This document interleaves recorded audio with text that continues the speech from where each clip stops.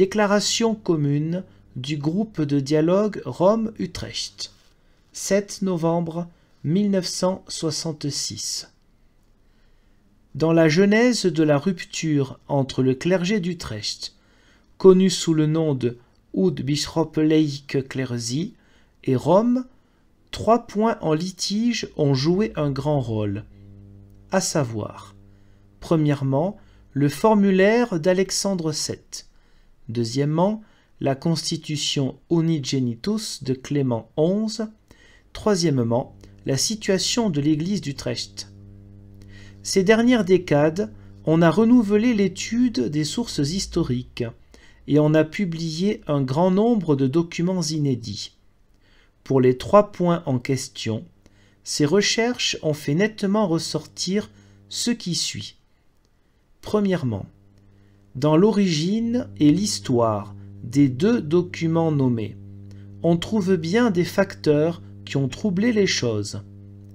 Deuxièmement, il a régné un grand manque de clarté et une grande indécision sur le sens dans lequel les cinq propositions du formulaire d'Alexandre VII devaient être interprétées et signées.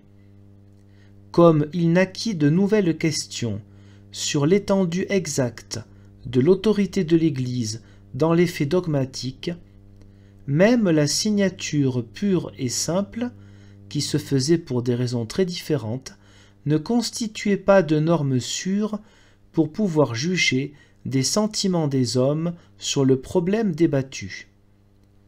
Troisièmement, dans la genèse et dans le fonctionnement de la constitution Unigenitus, on retrouve les facteurs qui ont joué un rôle pour le formulaire, comme nous l'avons déjà observé au numéro 1. Il s'y ajoute le refus d'entendre Quesnel, lui-même au cours de l'examen de son livre, refus qui est particulièrement regrettable puisqu'il constitue un symptôme de l'état d'esprit qui a causé l'éloignement toujours grandissant entre les parties intéressées. Quatrièmement, l'usage qui a été fait des deux documents a envenimé les oppositions sur le plan dogmatique et sur le plan spirituel, au point de faire naître de plus en plus nettement des factions. Dans ce processus, il a été commis des fautes des deux côtés, dans une situation qui, du point de vue canonique, était des plus confuses, mais qui ne pouvait pas anéantir le fait que l'Église des Provinces unies subsistait.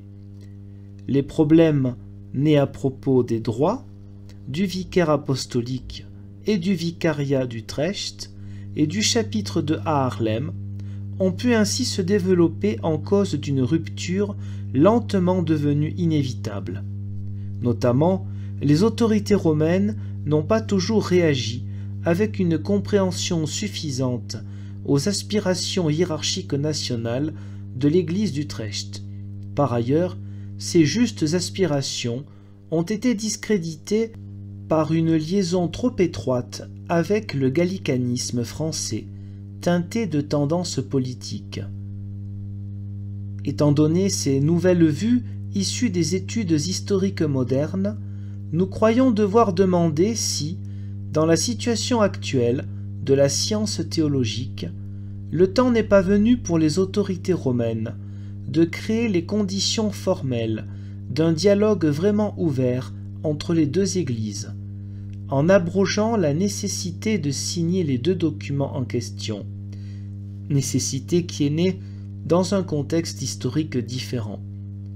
Ce serait mettre le premier pas dans la voie vers un dialogue ouvert, non troublé, entre catholiques romains et vieux catholiques, dans lequel, outre tous les problèmes dogmatiques, devra être examiné aussi celui de l'existence de deux hiérarchies aux Pays-Bas. Écoutons la lettre pastorale commune des évêques hollandais catholiques romains et vieux catholiques ce même jour, le 7 novembre 1966. Les évêques catholiques romains et les évêques vieux catholiques des Pays-Bas, au clergé et aux fidèles de leurs églises. Grâce à vous et paix de par Dieu notre Père et le Seigneur Jésus-Christ.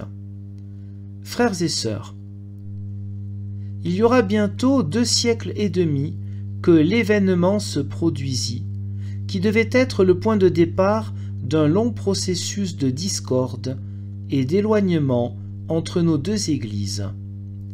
En 1723, en effet, les chanoines du chapitre d'Utrecht élirent un évêque sans la collaboration du Saint-Siège de Rome. Une longue série de conflits où des questions de personnes et des questions de faits jouèrent leur rôle avait précédé cet événement. Cependant, la séparation de faits qui s'ensuivit, personne ne l'avait voulu en son âme et conscience. Il est certain que la controverse théologique sur la grâce, entre les partisans de Jansénus et ses adversaires, ainsi que les divergences de vues qui s'ensuivirent sur la pratique de la vie chrétienne, entraient elles aussi dans le complexe des causes qui ont provoqué la séparation. Dans un stade postérieur, s'y est ajoutée la controverse sur la question de savoir si, oui ou non, le pape a autorité pour se prononcer d'une manière définitive qui lie la conscience des fidèles sur des problèmes historiques connexes. Finalement, c'est le désaccord sur les compétences juridiques dans la nomination d'un évêque dans la République des Provinces unies de ce temps qui força la décision. Il s'ensuivit la formation d'un épiscopat que Rome ne reconnaît pas et d'un clergé, vieil épiscopal, qui gardait rassemblé autour de lui une partie des catholiques des provinces du Nord. On les a appelés plus tard du nom plus usuel d'église vieille catholique. Au cours des temps, des tentatives répétées ont été amorcées pour réparer cette rupture. Elles ont chaque fois échoué sur l'exigence de Rome, préalable à tout dialogue en vue de restaurer l'unité, que l'Église vieille catholique souscrive à deux documents pontificaux publiés jadis à savoir le formulaire d'Alexandre VII et la Constitution Unigenitus de Clément XI. Ces documents concernent tous les deux des questions de théologie controversées au XVIIe siècle. L'Église vieille catholique ne pouvait souscrire à ces documents parce que, selon elle, leur contenu et leur portée devaient précisément faire l'objet du dialogue entre les deux Églises. Entre-temps, l'Église vieille catholique, dirigée par un épiscopat valide mais non reconnu par Rome, a poursuivi son chemin propre. Au XIXe siècle, elle a réalisé son union avec des groupes en Allemagne, en Suisse et en Autriche, qui s'étaient séparés de l'Église catholique romaine. À cette union, d'autres groupes de Yougoslavie, de Tchécoslovaquie, de Pologne et d'Amérique du Nord se sont ralliés au XXe siècle. Au XXe siècle également, l'intercommunion complète fut instituée avec l'Église anglicane, et des liens très étroits furent noués avec l'orthodoxie orientale. Dans le mouvement écuménique, national et international, l'Église vieille catholique a joué dès le début son rôle propre très important. Maintenant que depuis quelques années, l'Église catholique romaine est entrée pleinement dans le mouvement écuménique, la tâche difficile mais urgente s'imposait aux deux Églises si proches l'une de l'autre d'amorcer le dialogue. Aussi, avec le consentement des deux épiscopats, un groupe restreint s'est-il tout d'abord consacré à l'étude des causes historiques de la séparation. Ce groupe a acquis la conviction que les questions d'histoire et de droit ne doivent plus faire obstacle à un dialogue ouvert entre les deux Églises sur les points précis qui les séparent.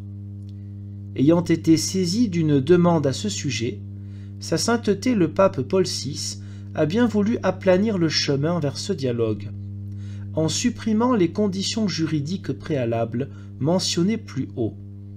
Dans une lettre officielle, le cardinal Béat a informé le cardinal Alfrink qu'actuellement pareille condition préalable n'est plus posée de la part de l'Église catholique romaine à l'ouverture d'un véritable dialogue entre les deux Églises.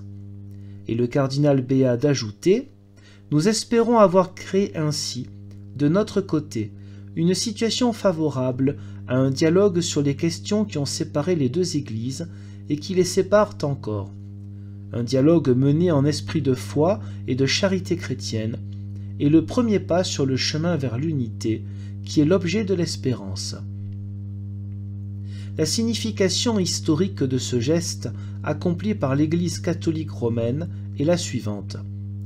Les vraies questions qui furent à l'origine de la séparation et la maintiennent encore sont susceptibles désormais de recevoir leur réponse vraie à partir de la foi. À cette fin, les deux épiscopats ont nommé une commission chargée d'étudier avec franchise, dans cette situation nouvelle et ce climat nouveau, les divergences doctrinales. Il s'agira d'affronter également dans ce dialogue les développements ultérieurs qui ont contribué à éloigner les deux Églises l'une de l'autre, notamment le dogme de l'infaillibilité pontificale et les proclamations de l'Immaculée Conception de la Mère de Dieu et de son assomption corporelle au ciel comme dogme de foi. Nous sommes pleinement conscients de nous trouver ensemble au commencement d'un long chemin que nous espérons parcourir avec l'aide de Dieu, en allant toujours davantage vers l'unité voulue par le Christ et qui constitue notre mandat. Mais en même temps, nous remercions le Seigneur de l'Église de nous avoir permis de faire ce premier pas du rapprochement de nos Églises. Nous avons l'espoir et la confiance que cette rencontre aura également dans nos paroisses l'effet de provoquer rapprochements et collaborations. Nous vous demandons à tous d'accompagner l'œuvre que le Seigneur a entreprise parmi nous, de votre prière, de votre courage aussi, et de votre patience effective. La grâce du Seigneur Jésus-Christ, l'amour de Dieu et la communion du Saint-Esprit soient avec vous tous. Utrecht, le 7 novembre 1966, les évêques de l'Église catholique romaine et de l'Église vieille catholique aux Pays-Bas.